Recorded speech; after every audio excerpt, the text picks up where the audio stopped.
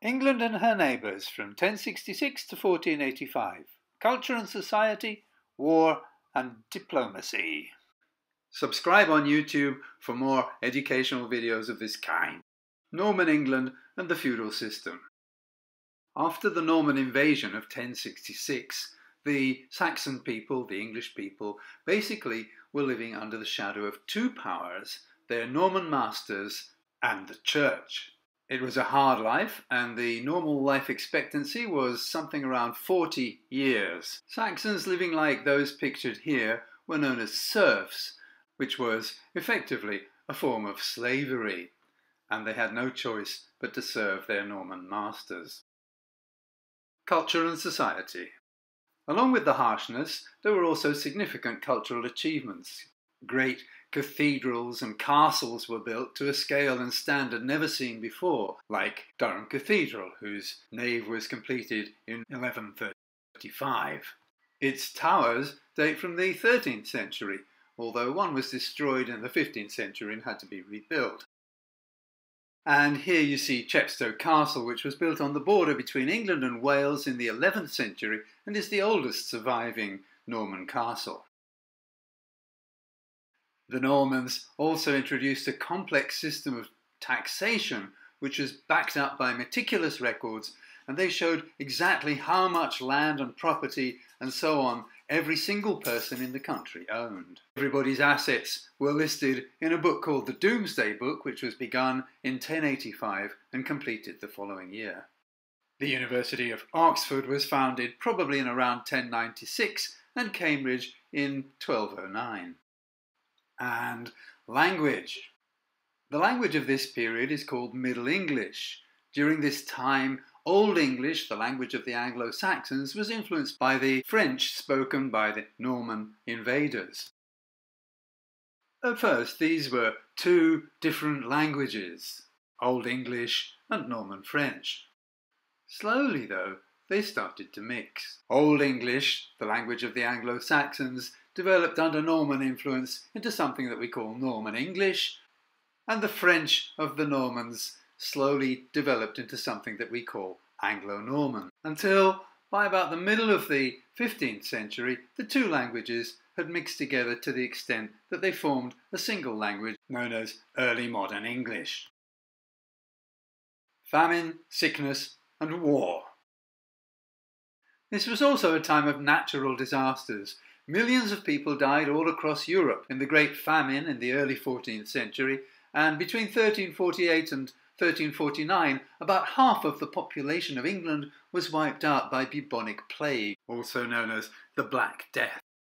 Civil war broke out in England after the Great Famine, and following the Black Death in 1381, a man called Wat Tyler led the Saxon people in a rebellion called the Peasants' Revolt. They succeeded initially in executing some members of the ruling elite, but in the end, the rebellion was brutally suppressed. There was also a series of wars in the Middle East called the Crusades. In these, Christians were fighting against Arabs for the possession of Palestine. England's biggest involvement was in the early 14th century, when King Richard I, known as Richard the Lionheart, joined the Third Crusade. And then there was England's constant struggle with its neighbours.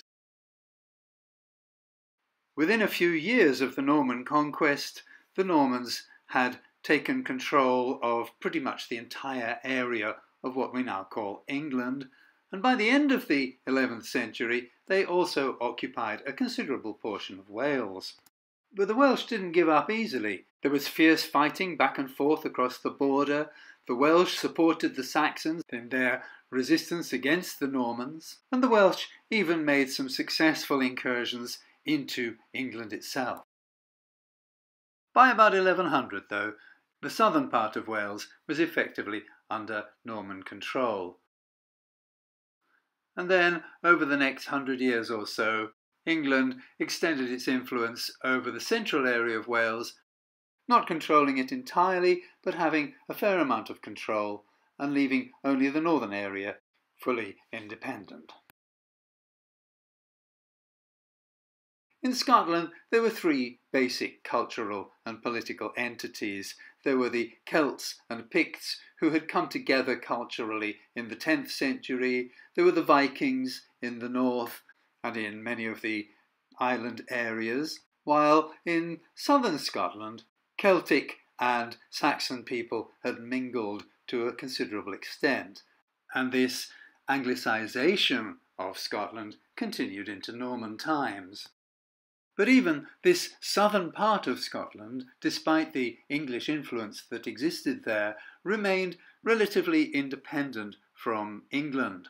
There were a few Norman families among the Scottish ruling elite, and in some parts of Scotland tribute was paid to the English, but the Normans were never really able to establish their feudal system of government in Scotland.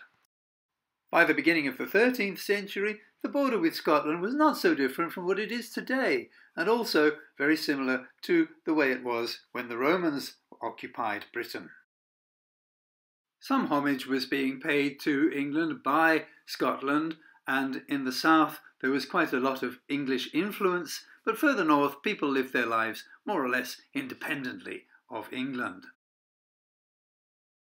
Ireland wasn't very much affected by England until the Normans took control of a large part of the central area of Ireland in the late 12th century.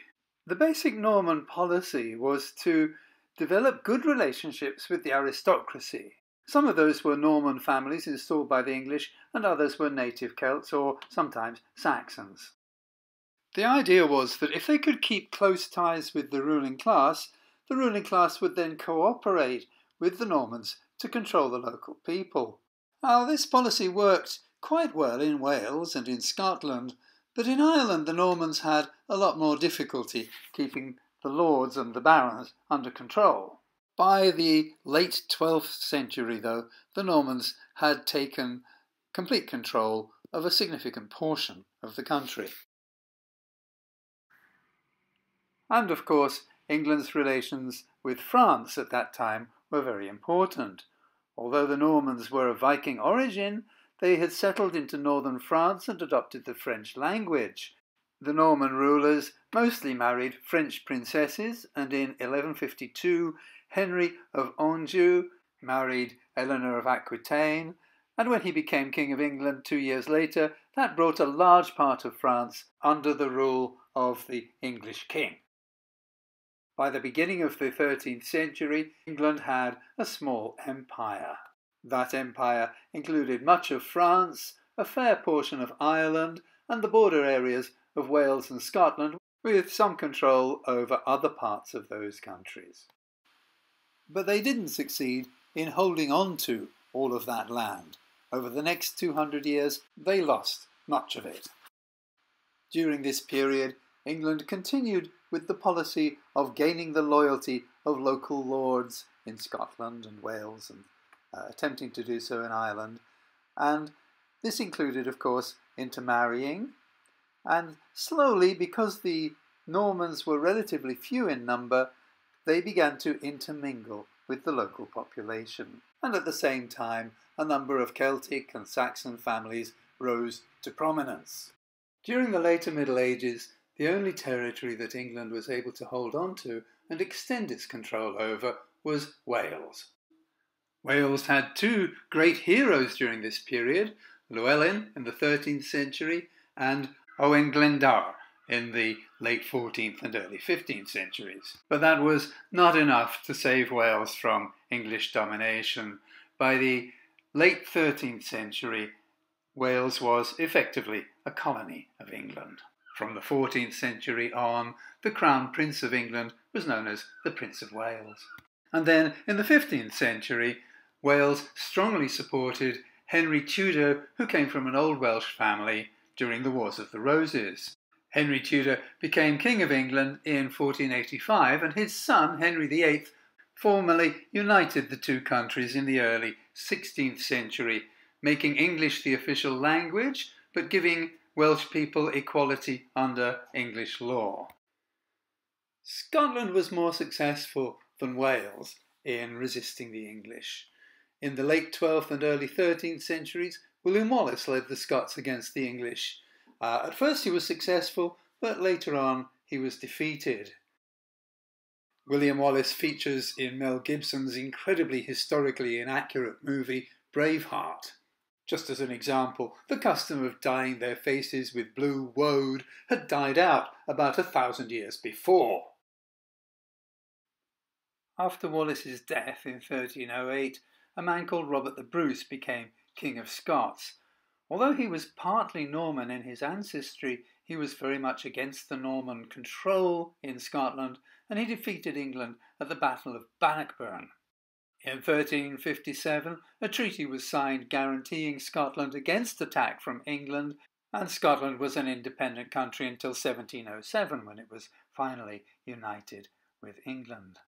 The Tudor kings and queens of England were from a Welsh family, and the Stuarts, who followed the Tudors, were a Scottish family. They were brought into prominence through intermarriage with the Norman ruling elite, and these intermarriages proved to be at least as important as war in bringing England together with her British neighbours.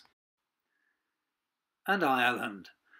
Unlike Scotland and Wales, no great national leaders came forth at this time to lead Ireland against the English, but at the same time, the geographical position of Ireland made it more difficult for the Normans to establish control there.